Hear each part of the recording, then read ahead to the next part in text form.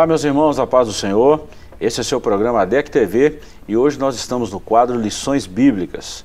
Estudaremos hoje a lição de número 12, quando Deus se revela ao homem. O texto áureo está em Jó, capítulo 40, versículo 6, e está escrito assim: Então o Senhor respondeu a Jó desde a tempestade. Verdade prática. Mesmo transcendente e distinto da sua criação, Deus se revela ao homem mortal. A leitura bíblica em classe, em classe está em Jó capítulo 38, versículos 1 a 4, capítulo 39, versículos 1 a 6, capítulo 40, versículos 15 a 18 e o 24, depois o capítulo 41, versículos 1 a 3. Estudaremos essa lição muito importante. Estamos chegando ao final do nosso trimestre. Pois bem, estudaremos essa lição de hoje, a lição de número 12. Ainda estamos falando sobre o livro de Jó, a fragilidade humana e a soberania divina, as lições de sofrimento e restauração de Jó. Mais uma vez estou aqui com o professor Joás. Professor, muito bem-vindo ao nosso meio. Amém. É muito bom. E hoje nós temos uma visita muito bacana. É o nosso irmão Matheus Lineca, da cidade de Iapu. Matheus, muito bem-vindo ao nosso quadro. Amém. É muito bom tê-lo aqui conosco. E hoje nós vamos estudar essa lição maravilhosa. Joyce, chegamos aí, estamos chegando à 12 lição, a penúltima desse trimestre. E como nós aprendemos com o livro de Jó, né? Finalmente chegamos à resposta de Deus, né? É, depois de intermináveis é, debates, né? Com quatro amigos aí, né? e depois de um lindíssimo discurso, né? Sobre a sabedoria de Jó, depois de sua defesa, depois de seu debate com Eliú, né? depois disso tudo, aí Deus finalmente se apresenta né, para responder a Jó. E é o que nós vamos ver na lição de hoje. Né? Muito legal. Mateus, você lá na cidade de Iapu também é professor da, da EBD. E o que, que vocês têm comentado lá no Iapu, nas classes, com, com, com relação a essas lições, essas, vamos dizer, essas 11 lições que já estudamos até agora? Qual que tem sido a reação da classe, dos alunos, em estudar esse livro de Jó?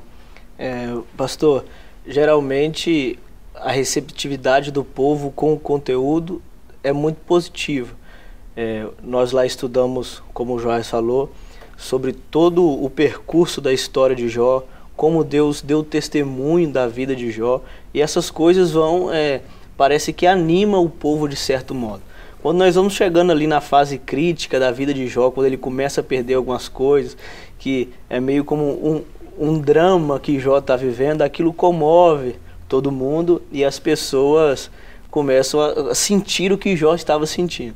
Seus amigos ainda vêm fazendo acusações de daquilo que ele estava passando, a, a, teologia que havia por trás da, dos seus comentários de seus amigos, e depois Jó fazendo uma defesa, uma autodefesa sobre aquilo que ele estava passando. É, eu acho que a lição que mais chamou a atenção da gente lá foi quando a gente comentou aquela da, da sabedoria de Jó, que foi a que nós fizemos alusão entre conhecimento e sabedoria. Aquilo foi de grande aproveito para a igreja, houve interação de todos os irmãos e essa lição, como as outras, foi de grande aprendizado para a igreja. A igreja recebeu de muito bom grado. Muito bom. Então, nós descobrimos muitas riquezas no livro de Jó, né, professor? Por mais que a gente fale isso na teologia, na, vamos falar assim, na, na bibliologia, na, na historicidade do livro, nós já falamos isso aqui várias vezes, mas o livro de Jó sempre surpreende, né?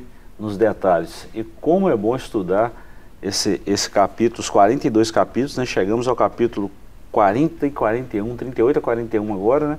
Nessa lição 12. E nós vamos ver aí a revelação de Deus ao patriarca Jó. É, o, livro, o livro de Jó em si é, é meio que o tema dessa lição de hoje, né? É a revelação de Deus, assim, é, muito bacana. É, a gente vê é, aspectos sobre a pessoa de Deus que são esclarecidos demais né, no, no, livro de Jó. Né? É, um desses é a soberania de Deus. Né? Jó, é, você não vai é, entender a soberania de Deus se você não ler o livro de Jó. Né? Como, é, como funciona essa soberania. Né? É, você não vai entender, pelo menos não completamente. É, você pode ter uma noção muito equivocada de soberania de Deus se você não, não entender, não se debruçar sobre o livro de Jó. Né? É um ponto que, que é de se ressaltar. É, e há muitas curiosidades no livro, né? há muitas curiosidades, nomes de animais que já não existem mais, né? que a gente não tem referências em outras literaturas. Né? Ele faz alusão a nomes de constelações, né? quando ele fala da ursa e das, das ursinhas, né? Uhum. ele está falando de constelação, ele não está falando de bicho. Né? A ursa maior, a ursa menor. É, e levando em conta quem está falando na época que está falando, uhum. né, esse tipo de conhecimento. E a, a, Bíblia é muito clara nesse sentido, nos seus originais. Né? É, outra curiosidade é o, o original, né, o texto bíblico né, no hebraico mais complicado da Bíblia, né, é o livro de Jó, porque não tem é, tem muitas apax legomena, tem muitas palavras que só aparecem nesse livro né, em toda a Bíblia, e não aparece nem em outras literaturas da época. Então, é, é os, os, tradutores têm uma dificuldade considerável né, ao traduzir o livro. Então, é, o livro é riquíssimo em termos de literatura e riquíssimo em termos de teologia também. Né? Verdade. É uma teologia perfeita, obra né? É. Obra-prima. É, vamos lá então, professor. E Mateus, nós falamos aqui, né, já demos um breve comentário, uma introdução muito boa do livro de Jó, né, mais uma vez reforçando, o livro de Jó é considerado pelos eruditos o, o mais antigo de toda a escritura, já falamos isso aqui inúmeras vezes, e o professor Joás deu uma pincelada nisso aqui mais uma vez, de tantas curiosidades que tem nesse livro. Vamos lá, introdução. Nessa lição vamos estudar como Deus se revelou a Jó e dialogou com o patriarca. Nós estamos falando dos capítulos 38 a 41. Esse episódio marca o ápice do livro de Jó, pois mostra a quebra do silêncio divino. Ao longo desse estudo, veremos que as respostas de Deus não são precisas, segundo a, segundo a objetividade que os humanos esperam. Jó, portanto, é desafiado a comparar sua habilidade e sabedoria com as divinas e a responder quem, de fato, age com justiça no mundo. Deus vem trabalhando uma retórica muito conhecida entre os humanos, né, que é a retórica, uma das retóricas mais antigas também, que é a retórica grega, né? Sempre responder com uma pergunta. Então é. Deus fez isso com Jó. É bem socrático, né? Não bem é? Dialético, né? É, Jó espera é, que milhares das suas perguntas sejam respondidas. Ele fez muitos questionamentos nos seus discursos e na sua defesa, né?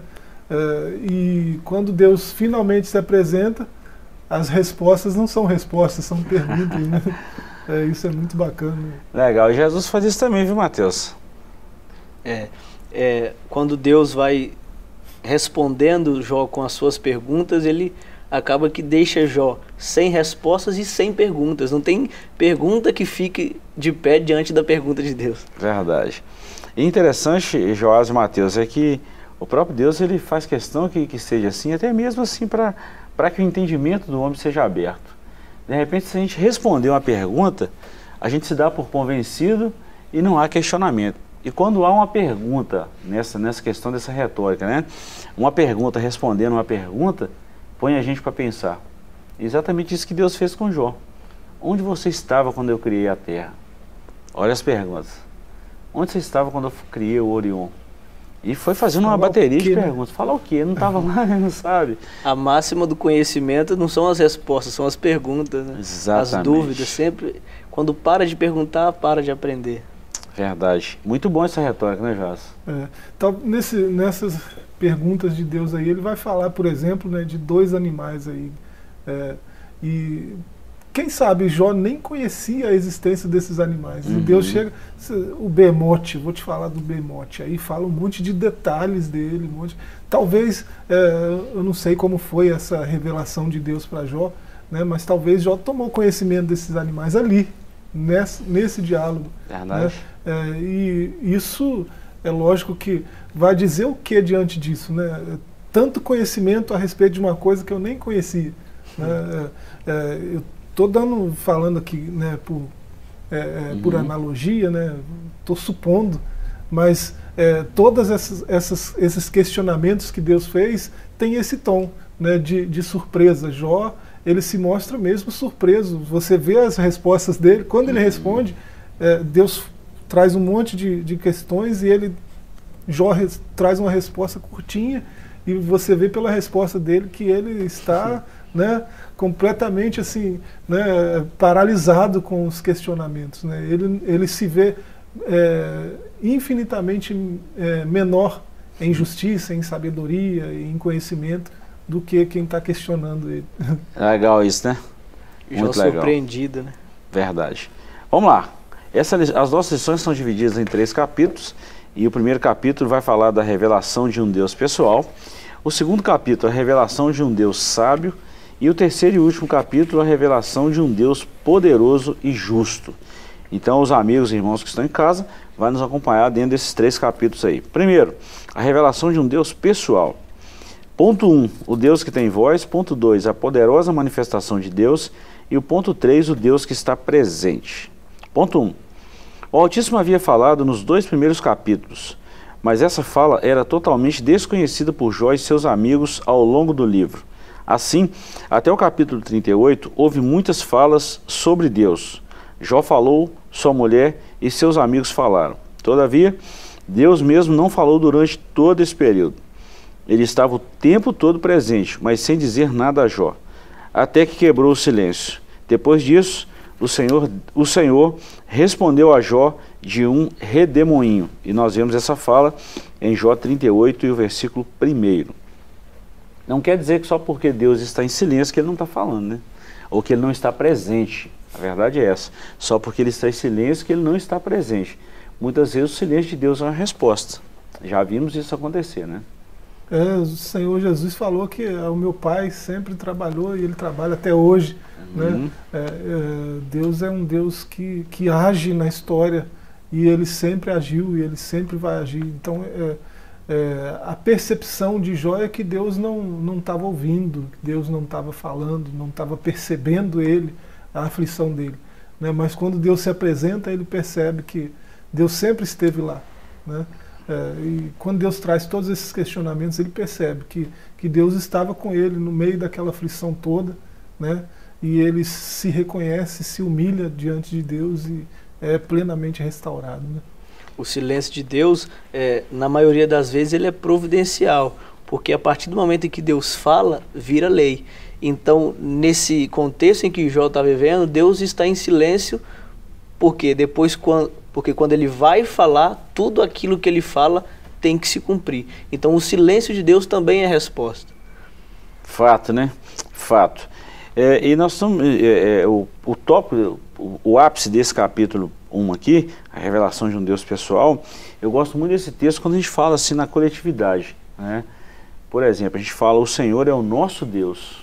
O Senhor é o nosso Deus, como igreja, como cidadãos, como pessoas, como um grupo de pessoas juntos.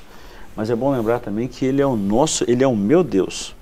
Eu, eu, eu relaciono com Deus na coletividade, mas eu também preciso relacionar com Deus na pessoalidade. Eu, como pessoa, preciso me relacionar com Deus. E parece que Jó estava esquecendo disso, né? A gente vê no. Não é esquecendo. As aflições da vida fez com que Jó enfrentasse um dilema desse jeito, que é um dilema de todos nós seres humanos. Quem nunca pensou nisso, né? É, se pensar no, no, num termo bíblico muito recorrente, né, o Deus de Israel. Uhum. Né? Deus de Israel é, é, um contexto de nação, né? Deus de Israel. Uhum. Mas é, também é o Deus de Israel, né? Deus de Abraão, de Isaac e de Jacó. Né? Uhum. Deus de Jacó, de Israel. Uhum. Né? É o Deus pessoal, mas é o Deus da comunidade. Né? Isso é, é, muito bacana. E esse Deus é um Deus que tem voz, né? É um Deus que fala é, nesse primeiro tópico aí. Né? É, e Eliú tinha razão no discurso dele. Né?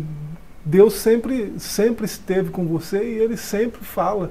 Você que não, não deve estar ouvindo, você que deve estar insensível à voz de Deus. Ele tem razão em dizer que Deus sempre fala. Né? Ele não tem razão de acusar Jó de, não, de não, não estar sensível à voz de Deus, mas ele tem razão em dizer que Deus sempre falou e Deus sempre fala. Deus é um Deus que fala, um Deus que se comunica né, com a sua criação. Tem um termo, Mateus, que a gente usa sempre na teologia, nos ensinamentos, a gente sempre aplica, que é o antropoformismo. Uhum. Né? A gente dá forma humana, a gente não, a própria Bíblia, né? Dessas formas humanas a Deus. Deus é Espírito, né, professor? Já ensinamos isso várias vezes. Mas nós conhecemos um Deus também, é, o Salmo 115 é muito claro nisso, né? O Deus, nosso Deus não é como o Deus deles, tem boca mas não fala, tem peso, não anda, tem garganta, mas som algum sai da sua, da sua boca e por aí vai. Nosso Deus não. É um Deus que é espírito, mas é um Deus também que se manifesta, um Deus que fala, que anda, que vê, que, que toca, que se relaciona. E para nós, seres humanos, nós temos essa necessidade de relacionamento. Jó sentiu falta disso, né? Mas no tempo certo ele foi respondido os seus questionamentos, mesmo que fosse com uma pergunta. Né? Eu acredito que Deus é, é, Deus de relacionamento. Sempre quando eu vou falar, eu falo que é, o propósito da criação está mais interligado no relacionamento do que na adoração. Deus não precisava de adoração para criar o homem, ele tinha no céu. E qual o homem que diga que adore mais perfeitamente do que os anjos? Uhum. Deus, ao criar o homem, ele está interessado na relação, no relacionamento. Então, a, o relacionamento gera adoração e não o contrário. Verdade, verdade. Ponto 2. A poderosa manifestação de Deus. A cena, sem dúvida, é impactante, parecida com a da pesca maravilhosa, de Lucas 5, 1 a 11. Quando Simão Pedro, após seguir a orientação de Jesus, pegou uma grande quantidade de peixes ao recolher as redes que havia lançado e imediatamente exclamou: Senhor, ausenta-te de mim, porque sou um homem pecador. A majestade divina impactou a Pedro. Não foi diferente com o patriarca Jó. Ele ouviu a voz que tanto ansiava por ouvir. O Altíssimo revelou-se pessoalmente. Jó estava diante de uma manifestação teofânica de Deus e este falava-lhe do meio de um redemoinho. Professor, achei isso interessantíssimo e muitas vezes as pessoas, os leitores leigos, leem o livro de Jó e não imaginam nessa, manifesta nessa manifestação teofânica de Deus a Jó. Uh, Jó está vendo Deus, né? imagina isso. Né? Uh, você vê outras manifestações do tipo, né? a sarça ardendo sem se consumir, né? não é uma sarça comum. Uhum. Né? Uh, tem algo diferente ali. E quando Moisés se aproxima, realmente né, ele ouve a voz de Deus ali do meio da sarça. Então, é, dizendo que o lugar, inclusive, era santo, porque Deus estava ali. Então, era um lugar santo. É, e, e, com Jó acontece algo semelhante. Né? É um redemoinho, né? parece um fenômeno natural. Parece uma coisa natural, mas é Deus se manifestando de uma forma que é, ele possa ser percebido pelos sentidos né, sem que a gente seja consumido por isso. Que se ele é fogo consumidor, se eu me aproximar, eu vou ser consumido. Né, porque eu não sou santo como ele. É, então é, é, é, não, não é compatível o meu pecado com a santidade dele. Então eu não poderia nem chegar perto, mas aí ele, essa teofania é Deus se apresentando de uma forma é, que o homem consiga perceber sem ser destruído. É, e, e, a figura de um redemoinho é emblemática, né? É, mas é, diante disso tudo, é, a, gente, a gente percebe que Deus está preocupado com a comunicação, né? com essa comunhão que o Mateus falou, né? e essa comunhão ela, ela depende muito de comunicação. Por isso ele deixou uma palavra expressa para a gente. Né? É, e por isso ele fala ainda com voz audível né, a muitos de nós. Né? Então, é, é, quando não fala com voz audível, fala pela natureza, fala. Né, Deus tem várias maneiras de se comunicar com sua criação. Mas a teofania é algo assim é, esplêndido, né? É, um, é, uma manifestação de comunicação de Deus muito é, sobrenatural, mas que usa elementos da natureza para fazer isso, né? Uhum. É bom a gente falar, professor, que talvez muita gente não conhece esses termos teológicos, né, Mateus? Igual, por exemplo, teofania que você usou agora aí, lemos aqui na lição também, são manifestações de Deus ao homem, de uma forma assim visível, palpável, né? É, isso aconteceu com Abraão, com Jó, com Ló e tantas outras pessoas na Bíblia. Sim. Manifestações teofânicas. Porque nós, seres humanos, nós que temos a necessidade de apalpar. Deus não tem essa necessidade. Necessidade, na verdade, Deus não tem necessidade nenhuma. A necessidade é toda humana. Mas, nesse caso dessa manifestação, o ser humano tem uma necessidade de preenchimento. E só Deus pode preencher essa necessidade humana. Interessante a sensibilidade de Jó também para perceber que era o próprio Deus que estava diante dele. Às vezes falta em nós, nós aprendemos com Jó. E essas manifestações é impossível o sujeito não perceber, né? O próprio Deus se revelando, né? Vamos lá, nosso tempo está chegando ao final nesse primeiro bloco aqui, mas vamos concluir o ponto 3 aqui. O Deus que está presente. Então nós falamos o Deus que tem voz, a manifestação de Deus, né, que faz parte dessa essência de Deus. E agora nós estamos falando de um Deus que está presente. Expositores bíblicos destacam que Deus se revela como Jeová, o Deus do pacto, entre os capítulos 3 e 37. Aparecem várias referências a Deus como El Shaddai, o Deus Todo-Poderoso. Na teologia tradicional, exposta pelos amigos de Jó, essa era uma forma fria e distante de se referir a Deus. Um Deus que existe, mas que está longe dos homens. Dessa forma, El Shaddai era, no entendimento deles, o nome que identificava Deus como forte e poderoso, mas distante e indiferente. Essa visão tradicional de Deus acabou por exaltar sua soberania, mas diminuir sua compaixão e misericórdia. Interessante a teologia desses amigos de Jó, tanto que eles. Vou falar uma palavra que talvez muitos vão, vão até estranhar, mas que eles não conheceram nada de Deus. Assim como Jó teve os seus questionamentos, né? Tanto é que ele expressou no 42,5: Antes eu conhecia Deus só de ouvir falar, agora os meus olhos o veem. É impressionante quando alguém se relaciona e conhece Deus, diferente dos amigos dele, né? É, a, gente, a gente pensa que, que essa visão de Deus é, é, é herança epicurista, né? É, lá da Grécia Antiga, uhum. né? lá da, da Grécia Clássica. É, de, não, se Deus existe, ele está muito distante, muito acima disso tudo aqui, né? dessa matéria que é tão vil. Né? Deus está muito distante. Né? Ele não está preocupado com nossas questões. Né? A gente pensa que isso é coisa de, da filosofia epicurista, mas isso é bem antigo. Né? Muito. Você pensar que isso está na boca de Elifaz, de Zofar né, e de Bildade, lá na época dos patriarcas, né, de Abraão, de, de Ló. Né? Você pensar que isso está lá distante no tempo, né, muito antes de Epicuro, por exemplo. É, é, essa visão de um Deus distante, né? Deus é tão grande, tão poderoso que ele não se preocupa comigo, que sou tão pequeno. Né? É, e, e, Jó vai inverter essa lógica, tanto que ele exige uma audiência o tempo todo na sua defesa e finalmente Deus se apresenta para ele. Né? Olha só como que esse Deus é pessoal e se preocupa com a sua criação. Né? Verdade. Jó é o exemplo de quando se alinha é, a teoria na prática, né? o conhecimento com a vivência. Os amigos de Jó conheciam de teologia, conheciam bem, mas não vivenciavam a teoria que eles tinham em mente. Jó, quando ele solicita a palavra e depois quando ele experimenta de verdade, é o que o pastor disse, ele vai dizer, eu conhecia, como os meus amigos conhecem só de ouvir, mas agora eu te vejo, além da teoria, eu tive experiência com ele. E essa, esse é o nosso objetivo, juntar teoria com conhecimento. Pois bem, vamos dar um pequeno intervalo. Estamos falando da lição de número 12, uma das lições importantíssimas até aqui. Falamos até agora é, sobre esse discurso de Jó entre os amigos, e ele buscando uma audiência com Deus, e nós estamos vendo aqui a resposta de Deus a Jó. Voltamos já já, não saia daí.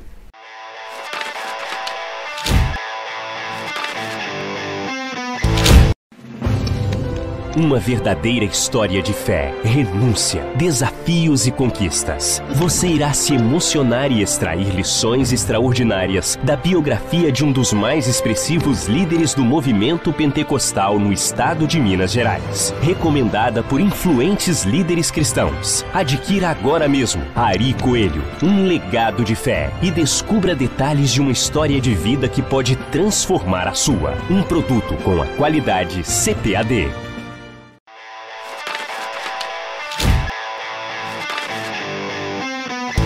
Olá, queridos, estamos de volta. Esse é o seu programa DEC TV e hoje nós estamos no quadro Lições Bíblicas.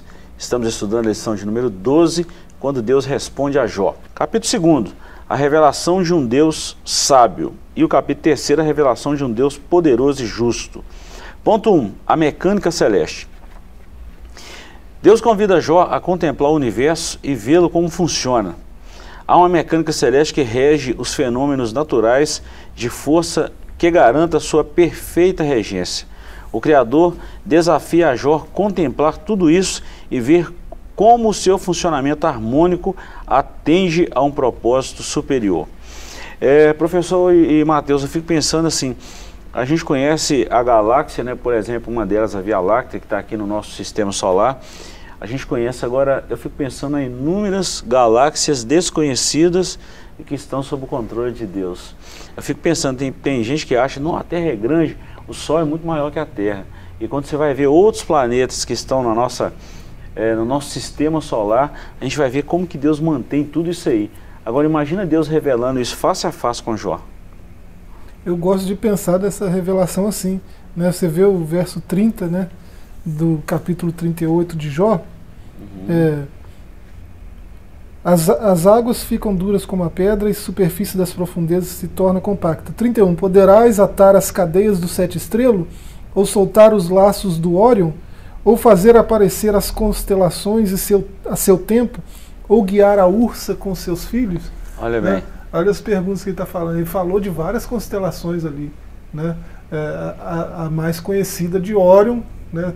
acho que todo mundo que tem algum, alguma curiosidade é, nesse sentido sabe o que, que é a constelação de Órion, e a Ursa Maior, né, que tem uma ursa menor, né, com, é, aqui o, o, próprio Deus chama de a ursa com seus filhos. Uhum. Né, eu imagino Deus falando isso com Jó e mostrando para ele Órion, né, a ursa.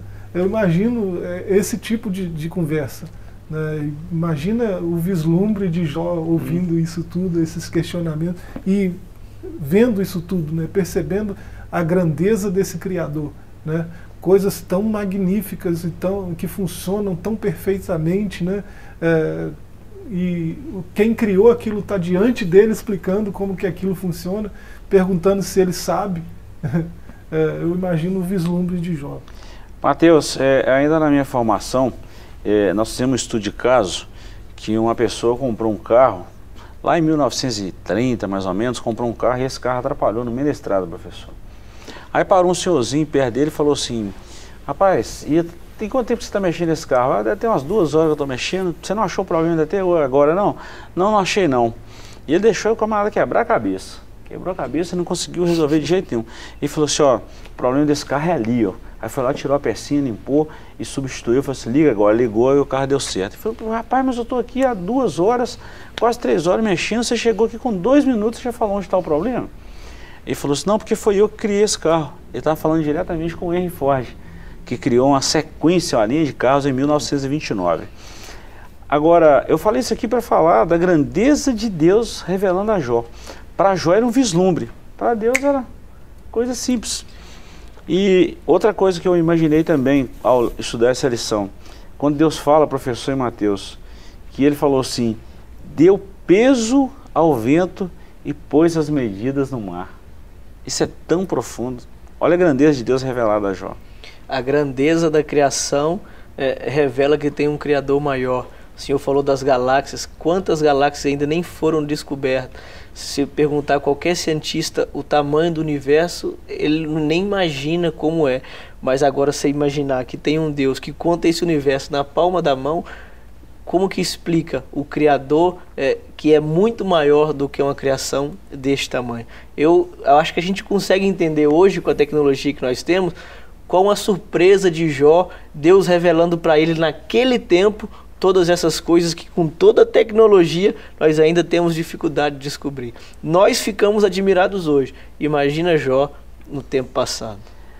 Talvez Jó não tinha uma, é claro, né, professor, não está falando de conhecimento. Talvez ele não tinha esse conhecimento que nós temos hoje sobre gravidade. Talvez quando Deus falou deu peso ao vento, está falando de uma gravidade. O que é uma terra ser mantida no, no nada? Né? Vamos falar assim, no espaço e Deus sustenta essa terra com inclinação de X graus, né, para ficar meio inclinada e, e, e, nada sai de sua órbita e Deus segurando todo isso aí. Olha que, que é. Deus gigantesco. Isso só um planetinha, né? Só um? no meio de um sistema com um solzinho de quinta grandeza, né? Não é? é? Você imaginar a grandeza de todo o resto, imagina. E em tempos quânticos, né? Que tem hoje tudo é quântico, né? Tem até coaching quântico. É verdade, verdade. É, é, em tempos quânticos onde se fala de multiversos, né? É. Imagina é, se, se Jó tivesse esse conhecimento que nós temos hoje, né? Quais seriam os questionamentos de Deus, né? Imagina o que, que Deus ia mostrar para ele. Fala, você sabia disso, você conhece isso aqui, você sabe como isso funciona. Né? Imagina hoje. Né? Você vê a complexidade que tem dentro de um olho. Né? Hoje, a, hoje os cientistas nem estão tão admirados com o macro universo, mas com o micro. Tudo que tem dentro do ser humano, toda, todo detalhe que está. As engrenagens funcionando perfeitamente apontam que alguém mega inteligente elaborou tudo isso para funcionar perfeitamente. Na dinâmica da vida, se Jó nada sabia sobre a ordem da criação, muito menos sabia sobre a providência divina para mantê-la. Jó deveria ser capaz de responder as seguintes questões: Como vê existir a criação? Como ela é preservada? Saberia Jó explicar como Deus faz para alimentar os leões e os seus filhotes? Como as cabras montesas conseguiriam dar cria aos seus filhotes e protegê-los dos predadores? E sobre o jumento e o boi selvagem, e o avestruz, o cavalo de guerra, o falcão, a águia, está claro que há uma providência divina que preserva as coisas criadas, pois todos esses animais foram projetados para um design inteligente, suas, por um design inteligente com suas peculiaridades, modo de ser e de viver. Interessante, olha a grandeza de Deus. Nós estamos falando aqui o nosso tempo não dá. Se fosse para a gente falar só dessa mecânica celeste aqui, nós iríamos ficar aqui umas duas, três horas aqui e não iríamos esgotar o assunto. Nós estamos falando só de um tópico. Agora, uma lição complexa como essa da, mostra a grandeza de Deus. Deus criou tudo nos seus devidos lugares, funcionando perfeitamente. Uma terra que gira em torno de si mesma, em torno do Sol, que tem as quatro estações, que tem o Sol para governar o dia, a Lua para governar a noite, as constelações, para estações de meses e anos, tudo já estava definido e tudo isso é Bíblia. Agora, e o que está na Terra? Nós falamos das galáxias, e o que está na Terra? Como Deus preserva, cria, cuida de tudo isso aí? Não é? é a, vi, a, vida né, é o milagre mais complexo que existe na natureza, né? E é o, um, o presente é, mais sensacional que Deus deu, né? É, o dom da vida é um dom e tanto. Né? E, e todo tipo de vida. Né? Aqui Deus vai mostrar todo tipo de vida funcionando do jeito que Ele criou para funcionar e, e, Ele vai questionar a Jó nesse sentido. Né? É, então é, Jó é levado a, a, refletir até sobre isso, sobre a dinâmica da vida. Né? É, e quanto mais você reflete sobre isso, mais você percebe né, a graça presente nisso tudo. Né? Você percebe a mão do Criador agindo nisso tudo. Né? É, é, por isso que o próprio Senhor, o próprio Criador, né, a voz criadora, é, falou para a gente observar mais a natureza, né, olhar para os lírios do campo, né, para a gente estar tá mais atento às coisas que nos, nos cercam, porque isso revela Deus também. Né. Fantástico isso, né, Mateus? Fantástico. A criação é, dando testemunho de um Criador é, soberano e infinitamente maior de tudo que a gente pode imaginar. Inclusive no juízo, no juízo, onde todos os homens serão julgados, alguém pode falar assim: "Ah, mas eu não conhecia a Deus, eu não vim com alguma desculpa esfarrapada, né, que é natural do ser humano, né?" E Paulo falando aos Romanos, capítulo 1, versículo 16, 17, 18, 19, por aí lá fora, ele fala isso que a, a, própria criação revela o poder de Deus e que as coisas criadas são, são testemunho disso aí e isso se torna inexcusável aos homens. Os homens não têm desculpa de falar que não natureza, né, no juízo, o livro da natureza. Exato. Né, testemunhando. Por que, que não tem desculpa, né? Se, se você olha para um, um Ford 29, né? Olha, olha como que é um carro arcaico, né? E você percebe uhum. que é, aquilo é obra de um engenheiro muito sábio, né? E você olha para um simples relógio, você percebe a mesma coisa. É, quando você olha para os lírios, você olha para a orquídea lá pendurada na árvore, para a árvore, para a ursa maior, seja para qualquer lado que você olhe, né?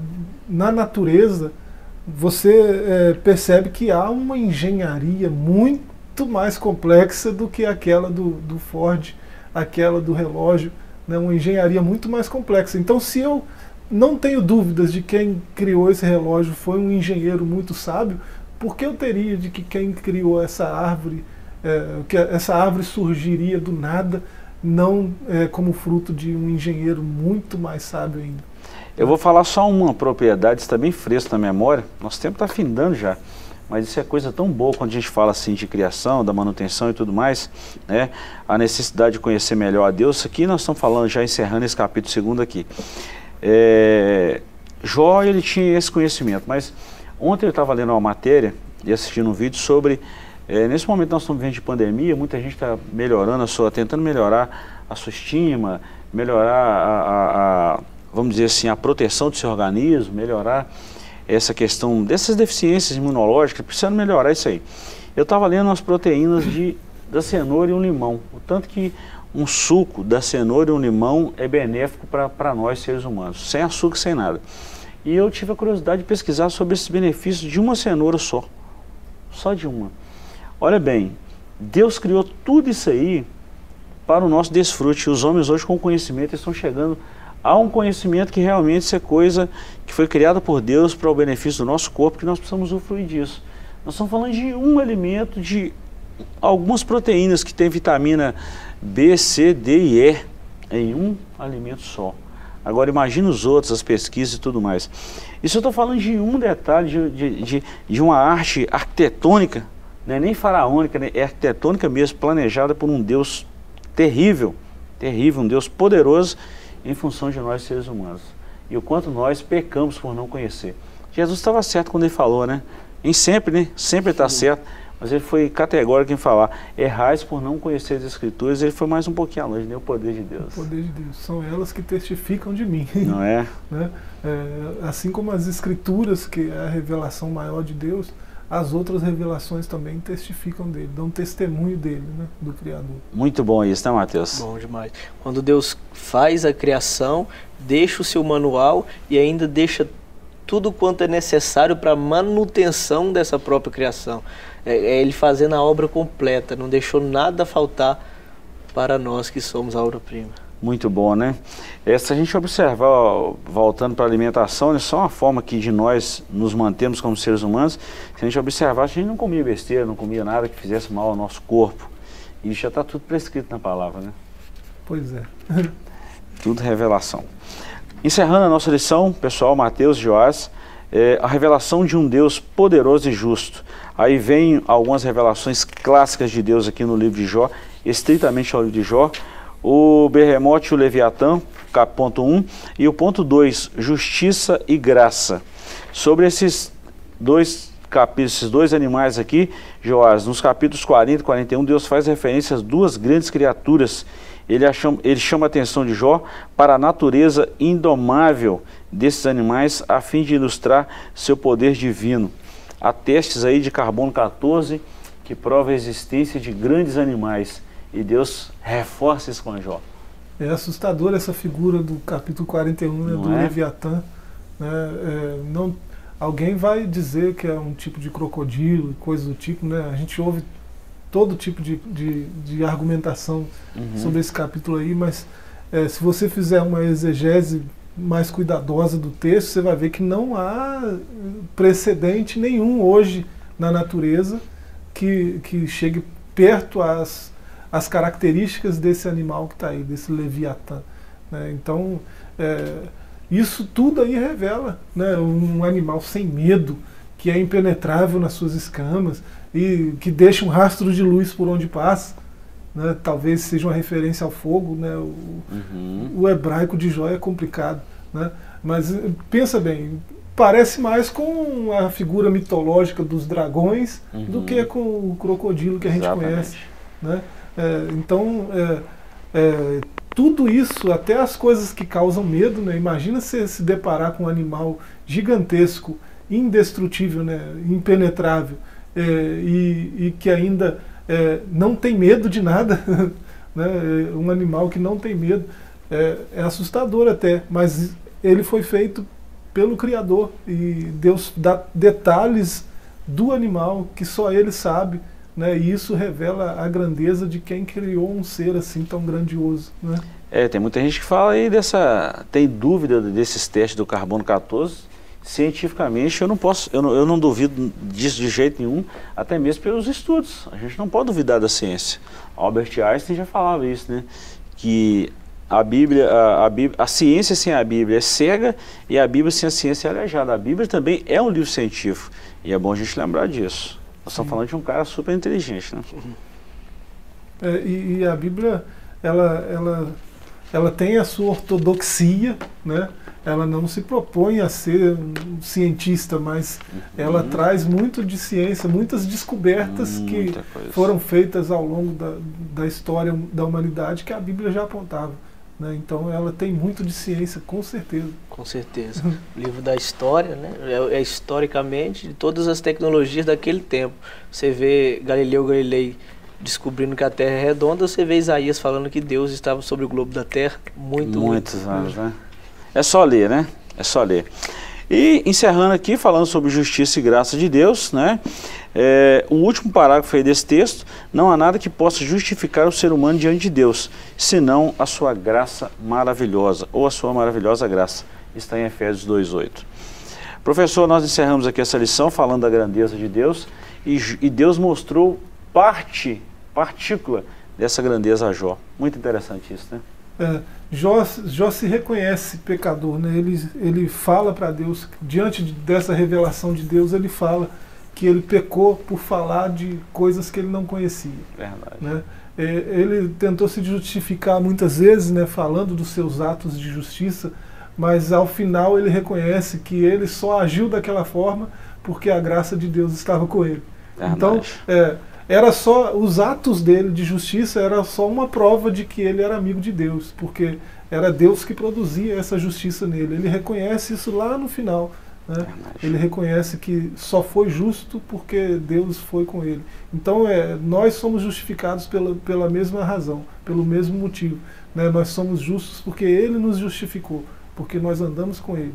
Muito bom isso, né, Matheus? Sim, é Deus está mostrando para Jó, diante dos seus questionamentos, olha, Jó, você está me questionando sobre justiça, sobre, sobre coisas efêmeras e passageiras, eu vou te mostrar algumas coisinhas. E Deus revela tudo isso que nós falamos para mostrar para Jó. Você não entende, você não entende o um mínimo que é necessário para questionar a justiça de Deus. Imagina entender sobre essas coisas que eu estou te dizendo. Então, Jó, abaixa a bola e ele reconhece. Bem assim, né? Ele reconhece que diante de Deus não tem sabedoria que se coloque de pé. Verdade. Queridos, chegamos ao final de mais uma lição. Agradecemos pelo carinho e voltaremos na próxima semana com a última lição desse trimestre. Deus te abençoe e te guarde. Esse foi o seu quadro Lições Bíblicas do ADEC TV. Deus te abençoe. Forte abraço. Thank you.